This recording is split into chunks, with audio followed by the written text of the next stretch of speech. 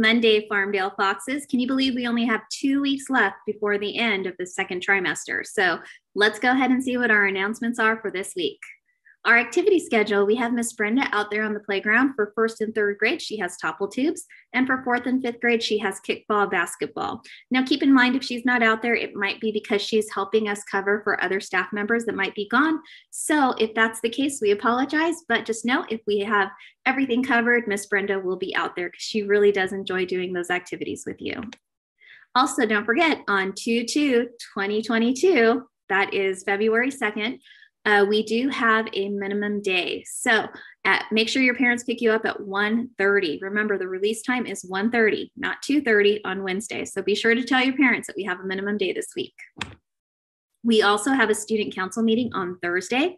All second through fifth grade classroom representatives and our fifth grade executive board. Make sure you're there in the library at 8.05.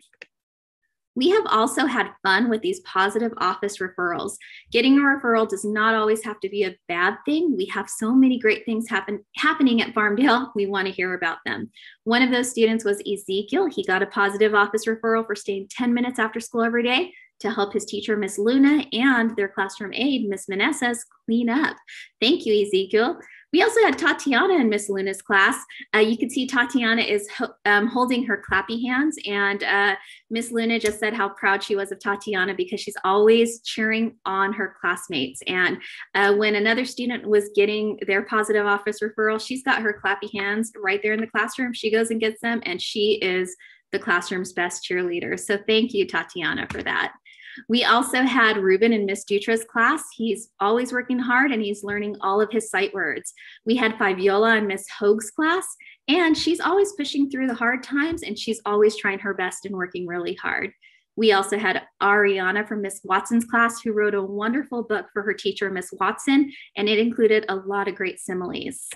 We also had Emma from Miss Sanchez's class, and she's always working hard, and her hard work has paid off because she moved up two reading levels. We had Olivia from Mr. Magana's class, and she earned her certificate for always helping her peers and for always working hard. And we had Melanie from Miss Vang's fifth grade class. She got the certificate from Miss Hagerman, the PE teacher.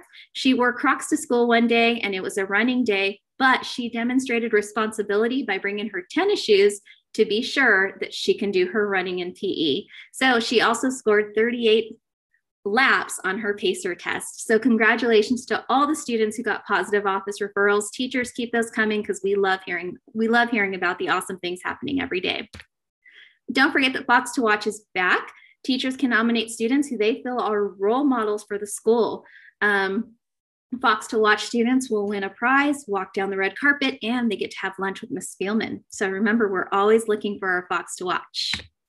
Don't forget, we have our Live the Creed goal. We have a pretty cool assembly coming up, and you need five certificates for your class. A lot of classes have already reached that goal. So if you haven't, be sure that you are working hard to not get referrals. And remember, if you get to five, don't stop. Keep going. See how many you guys can get this trimester. All right, this is the week. We have our Valentine's grams for sale. They start today and they go all the way until Friday. So if you want to tell somebody here at school how special they are to you, remember you can get a Valentine gram for just $1. Kindness Week is almost here. It's next week. And we have some spirit days. So we're just letting you know about them in advance so that way you can get ready. So on Monday, we have Wear Hearts Day. On Tuesday, we have Crazy Hair Day. On Wednesday, it's Rainbow Day. On Thursday, it's Superhero Day. And on Friday, it's Kind Shirt Day.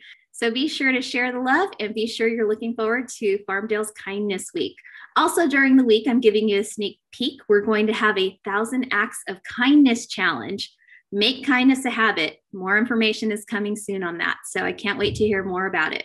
Tomorrow is the beginning of a new month. We're not going to have a strategy this month because it's a short month for us here at Farmdale. So we're going to review. It's always great to say please and thank you. Remember, if somebody does something for you, say thank you. And if you need something done, you can always say please. And we have pencils for sale. Uh, we've moved the pencil box. Uh, it's still close by the office. A lot of you guys have seen where it's at. So you can go ahead and get one for 25 cents. A new month starts this week, so we're going to kick off Black History Month. So get ready to learn about some social studies, and we'll see what you learn this month.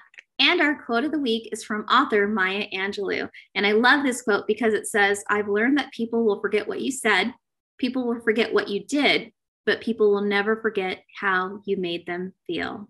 It's a great quote by an amazing author. And let's not forget to wear our masks properly. Remember, uh, we're still trying to stop the spread. So make sure you're wearing your mask over your nose and over your mouth, just like this. Remember, we don't wear our masks like this or like this. We've got to cover our nose and our mouths. And let's go ahead and do our kindness ticket winners. Remember, if you're caught living in the Farmdale Creed, you get a kindness ticket. We've got lots of them in here. Go ahead and check that out. And we have Ariana from Miss Johnson's ELD class. So uh, she might have a different homeroom teacher. It says Miss Johnson's ELD class. So if you're Ariana, we'll find out who you are. Congratulations. We have Rosendo from Miss Smith's third grade class. Congratulations. And we also have Antonio from Mr. Downey's class in fourth grade. So, congratulations to our kindness ticket winners this week. And I want you guys to have a great week. Remember, like I said at the beginning of the video, we have two weeks left until the end of the trimester. If you need anything, please reach out to Miss Spielman, myself, or Mr. Gong. And let's go ahead and take a look at this week's birthdays. Bye.